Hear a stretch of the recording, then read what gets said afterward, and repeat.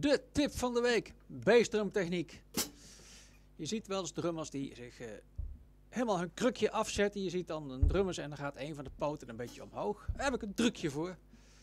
Wat je namelijk niet ziet nou van boven, is dat ik niet op een gewoon krukje zit, maar op een bureaustoeltje. Wat is nou het fijne van een bureaustoel? Er zitten wieltjes onder, dus zodra je jezelf afzet, ga je naar achter. Dus je moet dat zien te voorkomen, dus doordat je gaat oefenen met een, uh, krukje, dat je een beetje je been ook uh, goed uh, horizontaal houdt. In een hoek van 90 graden, zou ik maar zeggen. En zodra je het te hard afzet, ga je rijden. Nou, dat zijn toch gouden tips van deze manier. Houdoe.